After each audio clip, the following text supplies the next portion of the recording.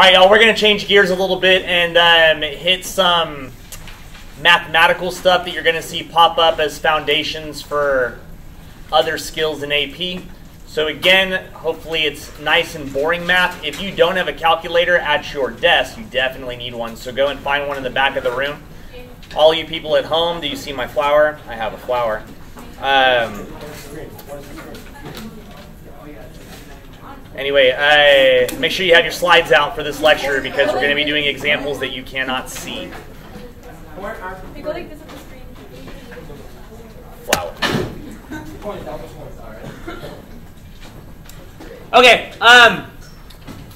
So my uh, again, my hope is that you're not having to copy this down. Please, I, I, I don't know. I, I can't tell if those of y'all that are still copying down are just forgetting or if you're just being defiant. So quit being defiant. Hi.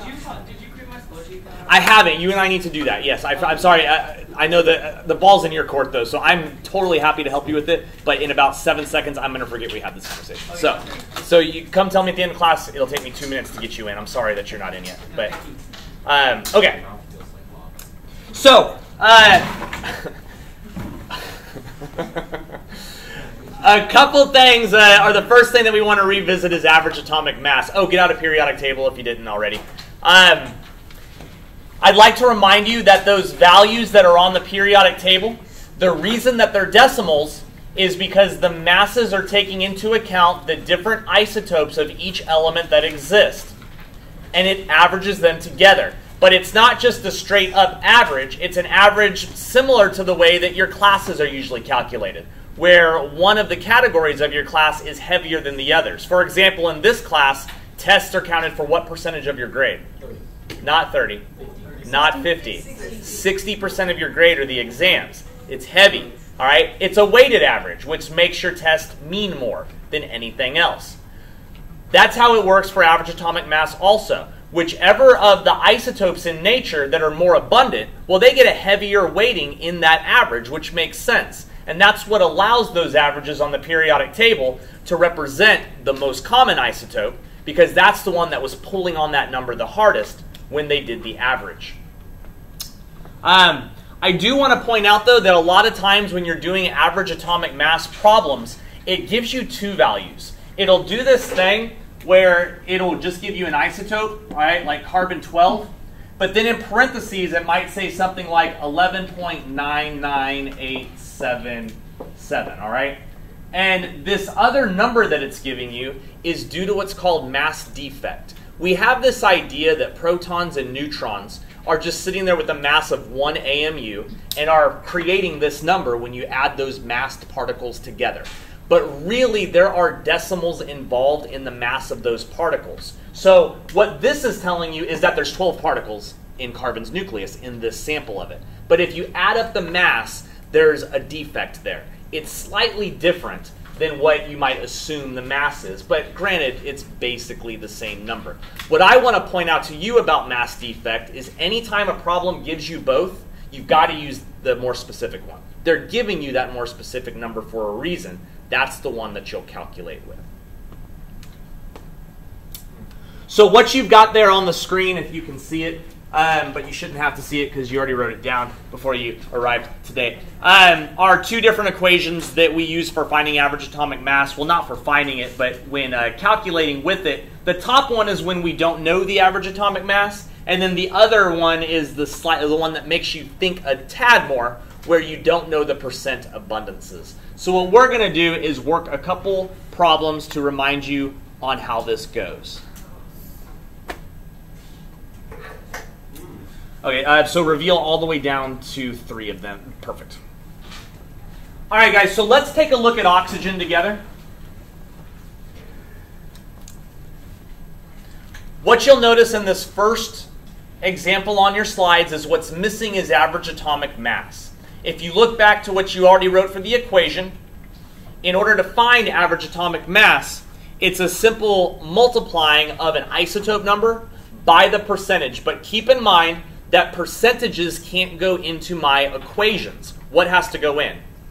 Decimals. So it's a simple decimal slide twice to the left to turn, or divide by 100, to turn a uh, percentage into a decimal. So let's take a look at what we would do here. I would take my first isotope mass of 15 and multiply it by its own percentage as a decimal. What is 16.1% as a decimal? 0.161. Now you killed a baby there. All right, but I know you meant well. And then the data sets are added together. So we can move on to our next set of 16, oxygen 16, at 0.83.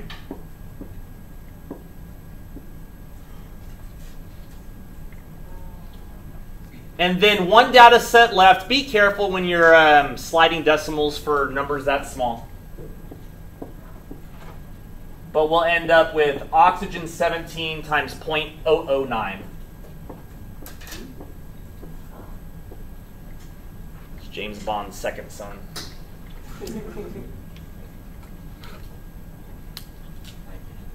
Bet you got it. All right, guys, go ahead and type this into your calculator. See if you can come up with an average atomic mass.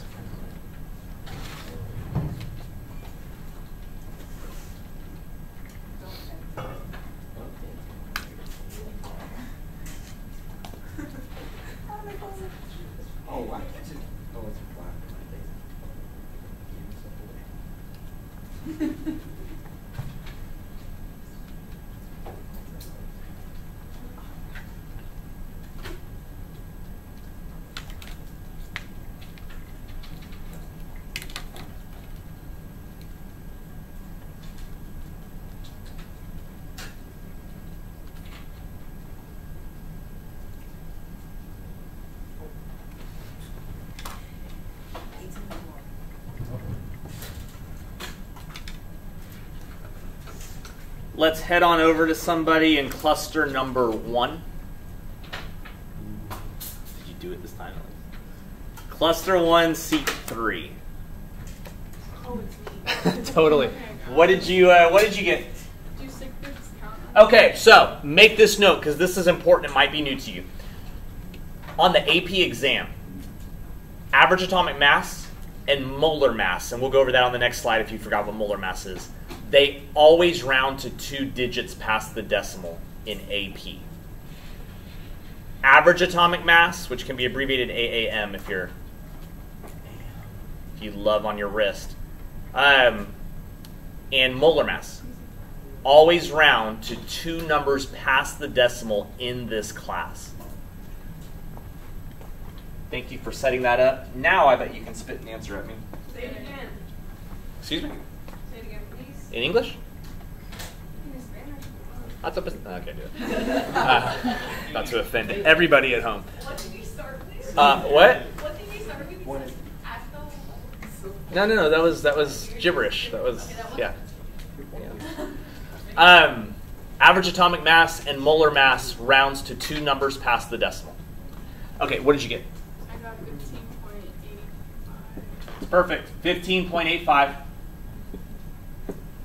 All right, and uh, anybody remember the units of average atomic mass? AMUs.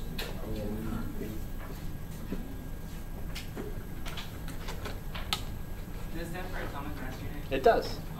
Boom, nailed it.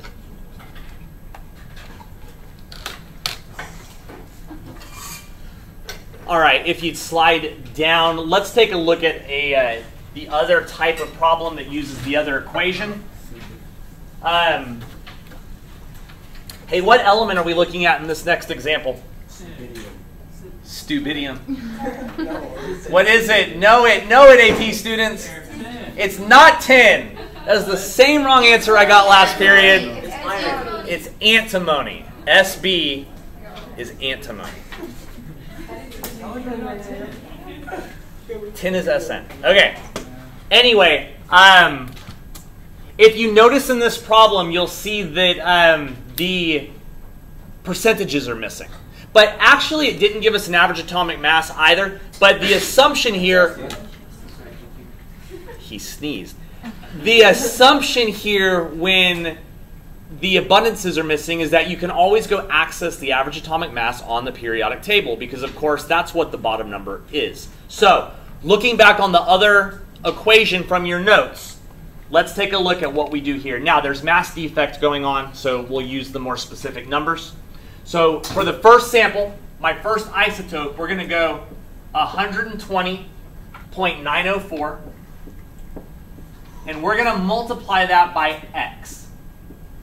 x there is the missing abundance of the first element. And again, I'm going along with the equation from the previous slide. Um, so when we solve for x, we will know the percentage of antimony 121. Now, continuing though, we're going to add that data set to the other isotope, which is 122.903.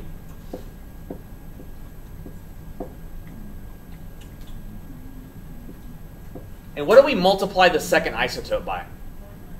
1 minus x. Does, it, does anybody remember why that works? Because 1 is a substitute for 100%. This next, uh, that expression there takes into account knowing that whatever the two percentages are, they're going to add up to 1 if you're using decimals. All right? And then, of course, we set it equal to the atomic mass, or the average atomic mass so if you look at your table at antimony, that's 121.76.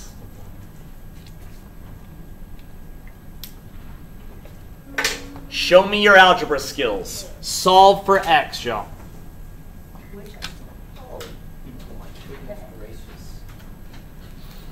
You got this. Solve for x.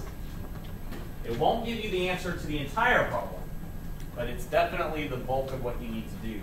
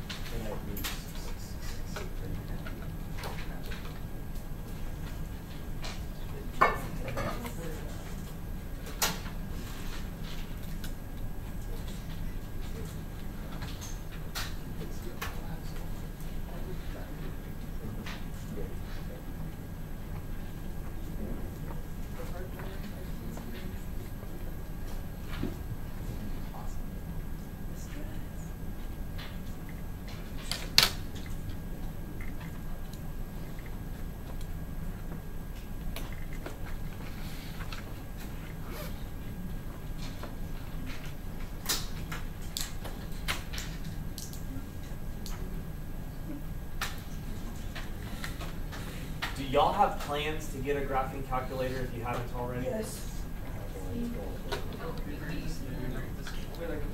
You don't need to yet, but we're two units away from you having to have it. What? So I thought that, that, then subtract this from have x in there. This goes to the other side. No, don't end up. Whoa. I do that on all my TikToks. I do not have a TikTok. Yeah, uh-huh. So you can hire this. Mention anything. If you have not put into action getting a, a, a graphing, not a crapping, a graphing calculator yet, put it into action, guys. Um, it's got a solver on it that I can show you how to use if you don't know how to use solver. But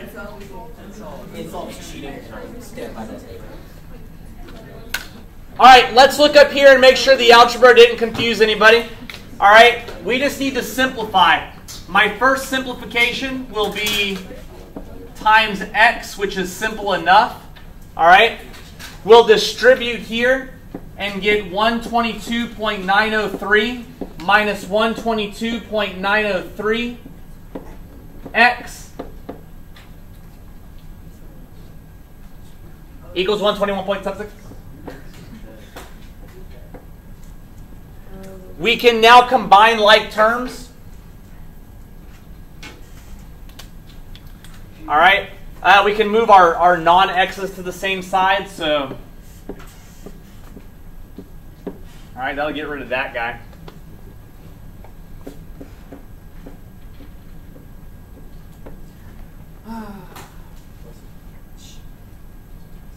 And then combine our x terms. You'll notice that this one's negative, though.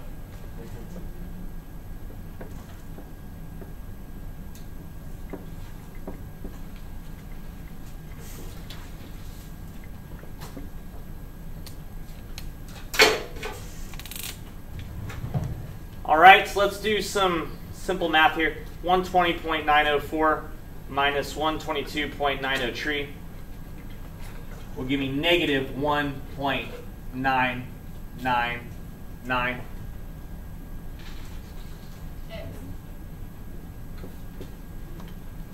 A geese. Haha. I did one, right? Did I not say it good? That was good? Yeah. I, I rolled my R. The other side, 121.76 minus 122.903. Negative one point one four three. Negative 1.143. Divide to isolate the x.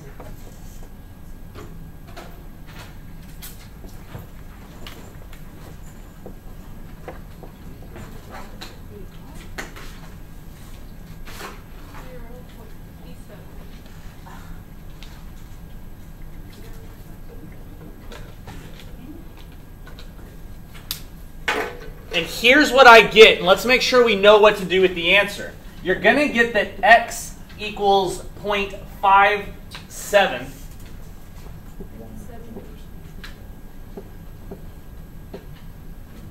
All right?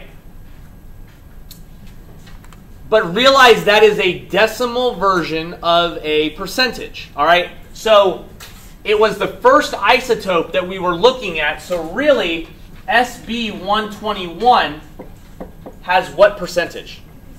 57% if you convert that back into a percentage.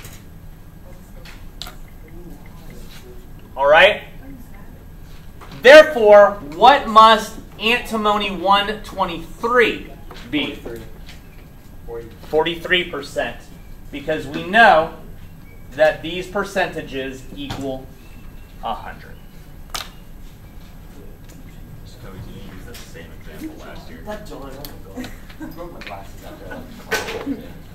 Yeah, he jumped. You're going to embarrass me, don't do it in front of the whole class.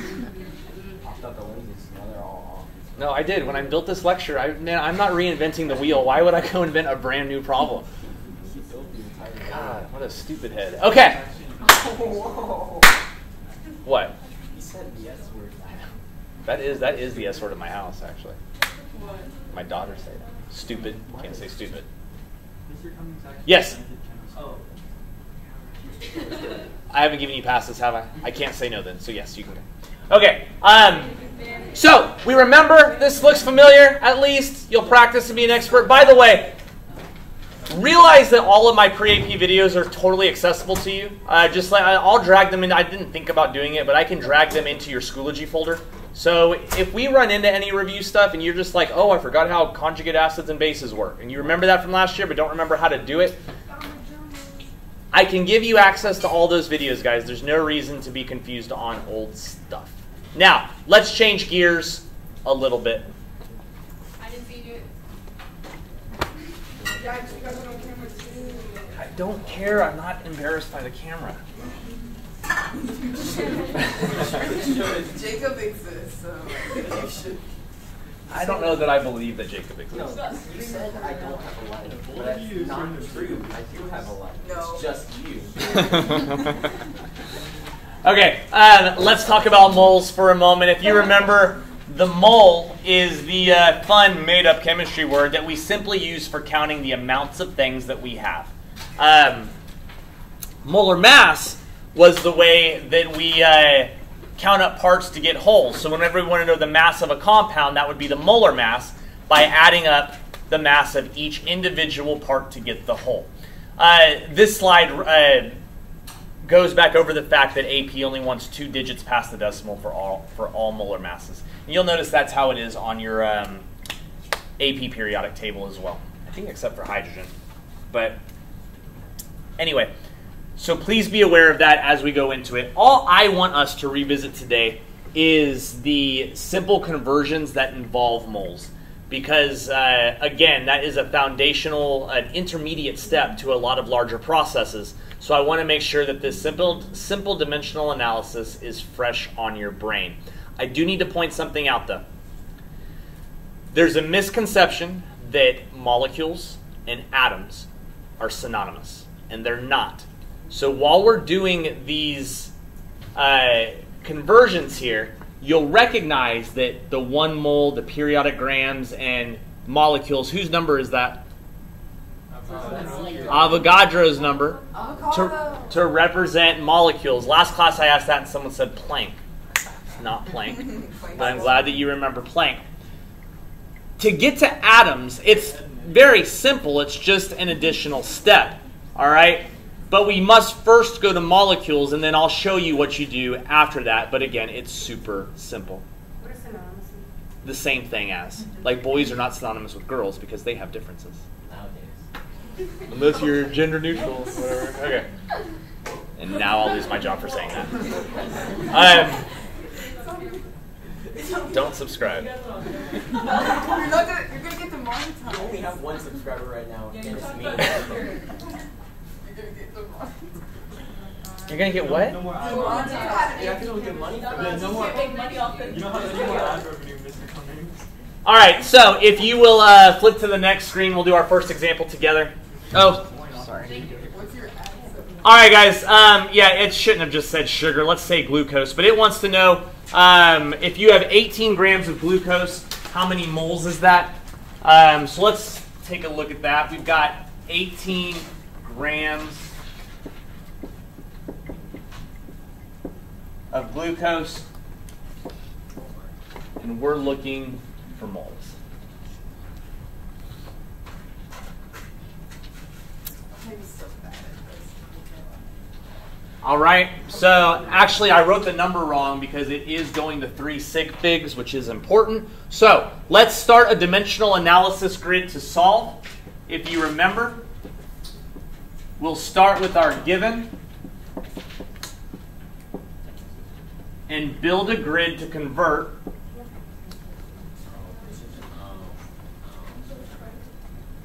Currently, grams is what we want to get rid of, so by putting it on the bottom of our grid, it will disappear.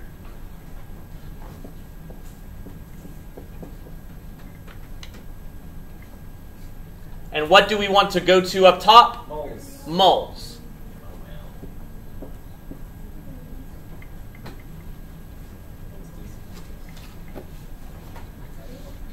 So here's where our conversion factors come into play. You can look back on the previous slide.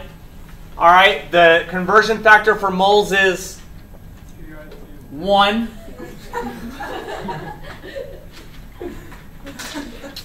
And the conversion factor for grams is periodic table. Now, here's where a molar mass will come into play because we need to add 6 carbons, 12 hydrogens, and 6 oxygens together in order to know the PT mass. Keep in mind you're going to round to two numbers past the decimal. Take 15 seconds and get that.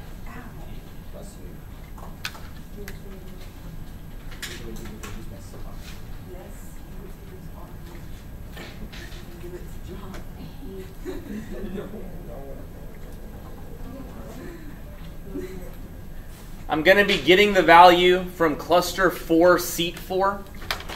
So, Robin, when you have it, you're welcome to shout it at me. These videos are gonna be so iconic. They already are iconic. They are. They. He said five classes. He said really Did you? I'll believe it. I want see it in the video. He did. Confirm it. They got the approval. You got it? No. No, sorry. Coming ceiling.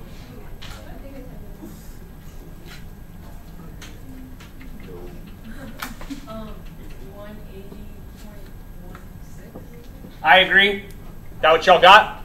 Give me a second. I got I that. no. That's what I got. I got it comes out to like one to one five seven or something like that, right?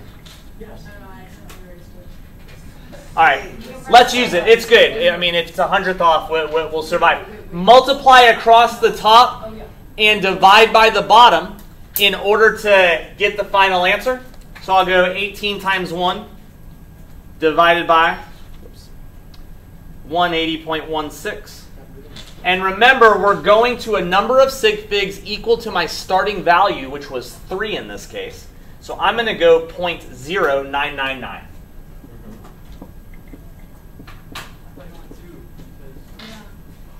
The molar mass. Oh, okay. What was your question? Let's go two because of the, it rounds to two. All, all, mol, only molar mass does that. Molar mass and average atomic and average atomic mass, not moles. Everything else is going to keep following our normal sig fig rules, and we were given three sig figs on purpose.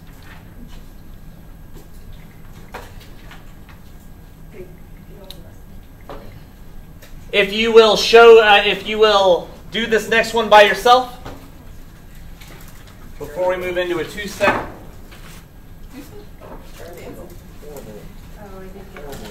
a horrible what? Person to look up to. Solve this problem about oxygen. Re- Repeat.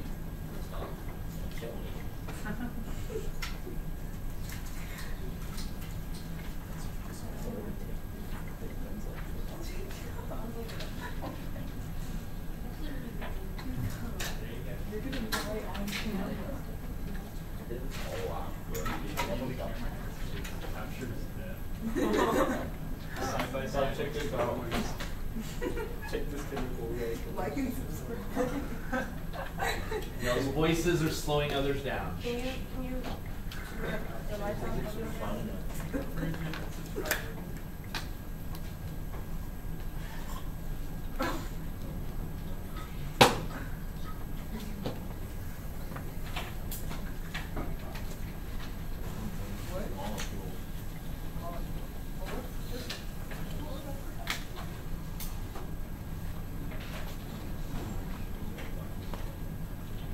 Oh, it's six point two. It's not the answer. Tell me.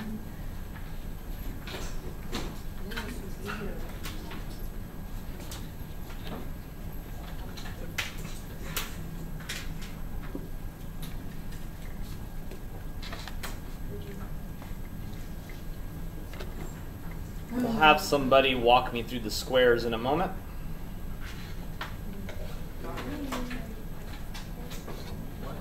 Ooh.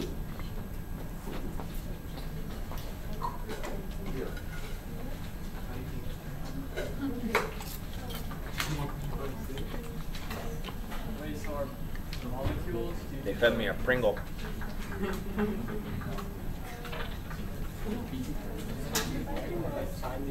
All right, let's head over to cluster three, seat four. Me? Yeah. Oh, What did you put in this first square? uh, I put fifty grams of oxygen. Can you be more specific about the oxygen? Oh, two. What did you put down here? I put thirty-two grams. And what did you put up top? And then I put six point zero two.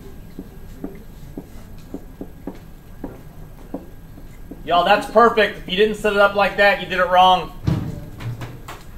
Any questions, though, or concerns on why it happened like that?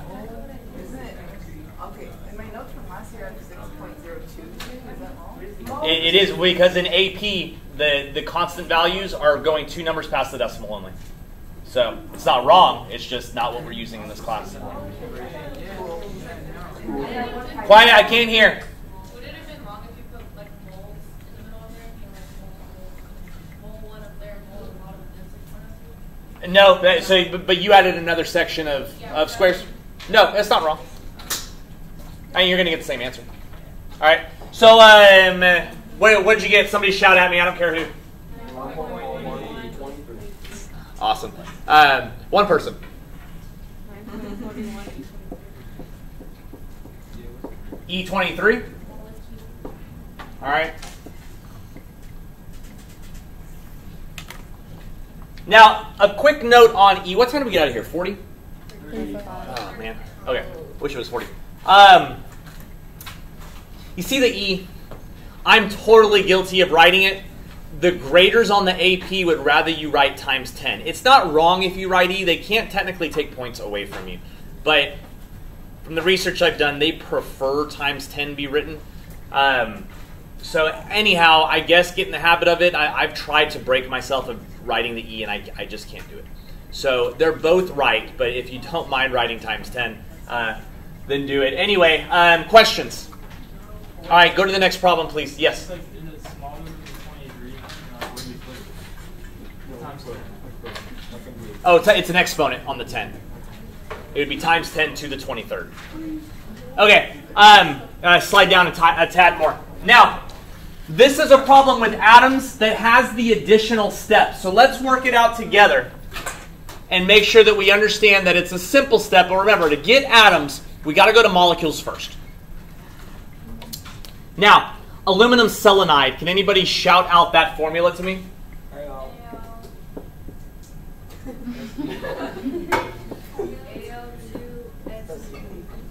Very good. Now you'll find that if you translate it wrong here at the beginning, the rest of the pro you won't be able to get the uh, final answer. So it's important that your translation is is on point. Now it's giving us two moles of that dude, and it wants to know how many atoms of what? What does it want to know? How many atoms of Aluminum. of just the aluminum? Okay. So let's check this out. Everything's going to feel the same. We're going to go 2.00 moles of aluminum selenide.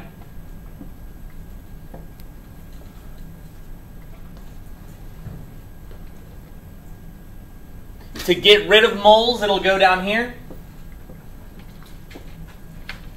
And what are we going to convert to first? We got to go to molecules before we can go to atoms. So let's go to molecules. And your conversion factors state that one mole is equal to Avogadro's numbers. Numbers, number. Is that a question, Annalise? Yes.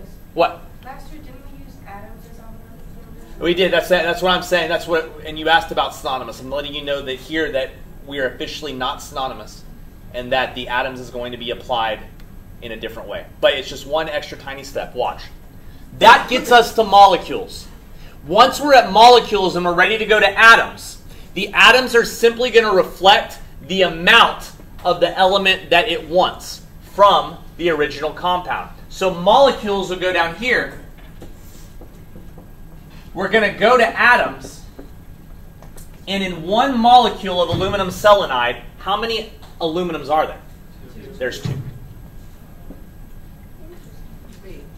So this guy there, that subscript, and your previous slide mentioned subscript when you're doing this, is going to be your final conversion factor when going to atoms.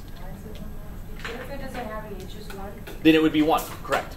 In which case, the whole step could be skipped if you can see that ahead of time. So, I'm going to go across the top 2 times Avogadro's number times 2. And I get 2.41 E24. Is there another- Yes. So you have six Avogadro's on different molecules, right? One molecule. Oh! Because in no, I, I, I see I see what you're saying. So on the last step, there's some people that will say to not put anything down there. because you just need to multiply by atoms because it's confusing. But it's another thing that sets them equal to each other. Remember, the whole point of the squares on top and bottom of each other is that they equal one another. All right? And one molecule is equal to two atoms in this compound. But here, one mole of anything has this many molecules, so they're still equal. Oh, I know. Oh, Hey, look here real quick. Can you show the next problem? You you can put your stuff away. I know I ran out of time. But I just want you to rationally see it real quick. Um, it looks at calcium acetate. Hey, stop for a second. Free. I still have you for two and a half minutes. Chill.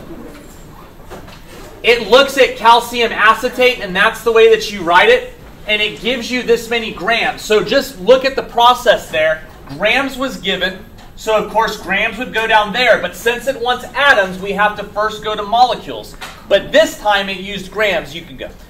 But this time it used grams, so it was PT equal to Avogadro. So that 158 number, well, that's this added all up. All right, it's a molar mass.